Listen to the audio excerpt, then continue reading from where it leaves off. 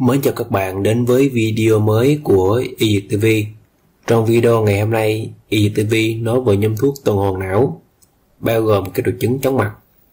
Có rất là nhiều nguyên nhân dẫn đến tình trạng chóng mặt từ ngoại vi cho đến là trung tâm. Thông thường các bệnh hay gặp như là chóng mặt tư thế kịch phát, phát bệnh Meniere, viêm cho thần kinh tiền đình, khối u tuần hoàn sâu ở tiểu não, bệnh đe sơ cứng thân não, đau nửa đầu tiền đình migraine. Nói chung, còn có rất là nhiều nguyên nhân, ví dụ như là cao huyết áp cho đến là thấp huyết áp đều dẫn đến tình trạng chóng mặt. Trong nhóm thuốc tuần hoàn não hay gặp tại nhà thuốc, y dược tư vi chia ra gồm 6 nhóm chính.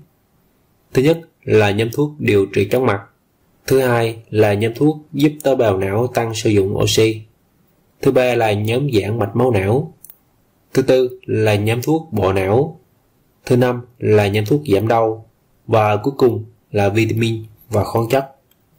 Đầu tiên là nhóm thuốc điều trị chóng mặt, bao gồm acetyldiallosin. Thông thường nhà thuốc thường hay sử dụng nhất đó là tanganin, có hàm lượng 500mg bao gồm dạng viên nén và dạng tiêm tĩnh mạch. Đối với dạng viên liều dùng, có thể sử dụng là một viên 500mg nhân 3 lần trên một ngày.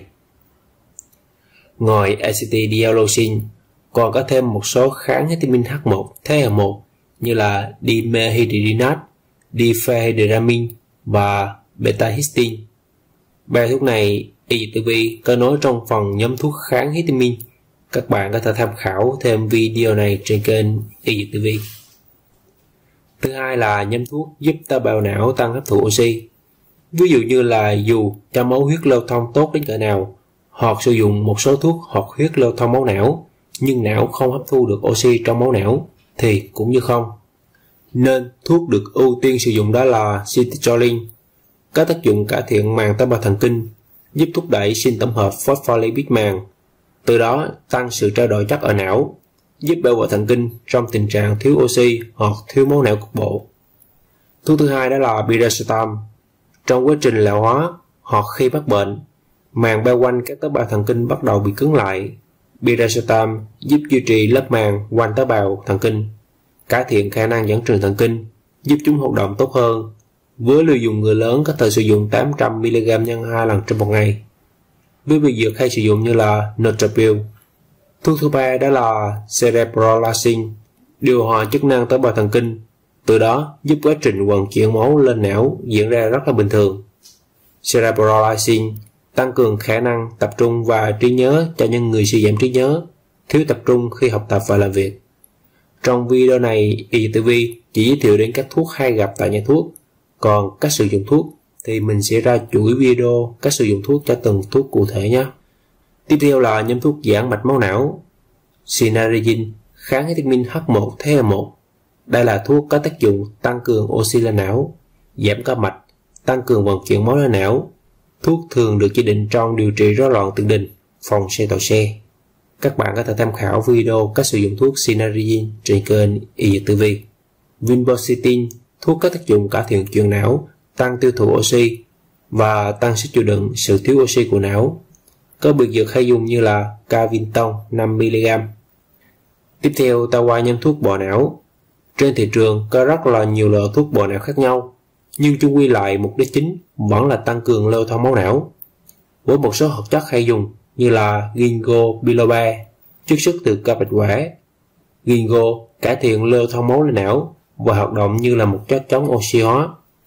Ngoài ginkgo thì có rất là nhiều hoạt chất bộ não khác như là cao đinh lăng, cao việt quốc, coenzyme Q10, GABA và còn có thêm một chất đó là natokin giúp tăng cường lưu thông máu, tăng tuần hoàn máu giảm nguy cơ hình thành cục máu đông, giảm nguy cơ tắc mạch, đột quỵ do huyết khối.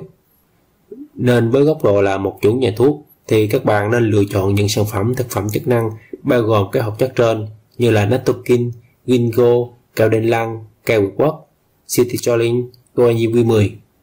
Ngoài ra còn có thêm các vitamin B1, Meye, B6 để giúp tăng cường trao đổi chất thần kinh tốt hơn.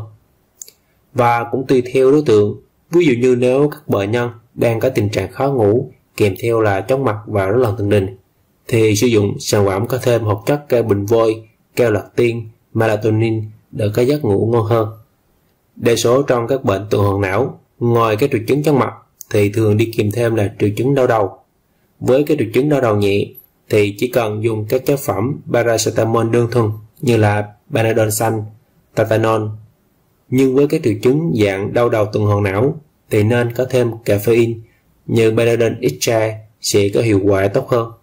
Các trường hợp nặng hơn có thể dùng codeine hoặc là tramadol nếu paracetamol đơn thuần không còn đáp ứng. Trong cơn đau nửa đầu migraine thì ưu tiên dùng flunarizine chuyên trị trong các trường hợp đau nửa đầu. Với bực dược cũng hay dùng như là hagizin của dược hậu giang. Nói chung, những thuốc phía trên chỉ là thuốc điều trị triệu chứng. Chúng ta còn phải tìm ra được nguyên nhân gây bệnh để điều trị triệt để hơn. Ví dụ, nếu bệnh nhân đang trong tình trạng là cao huyết áp dẫn đến tình trạng chóng mặt thì cơ ưu tiên hàng đầu là phải hạ huyết áp cho bệnh nhân trước. Hoặc nếu bệnh nhân đang tụt huyết áp thì cần phải tăng huyết áp lên cho bệnh nhân rồi mới nghĩ đến là sử dụng các thuốc phía trên. Ok, trong video hôm nay, Y Dịch TV giới thiệu đến các thuốc hay gặp tại những thuốc thôi. Để xem trọn bộ video của chúng tôi thì các bạn có thể vào website ytv.com. Xin cảm ơn và hẹn gặp lại các bạn trong những video tiếp theo. 拜拜。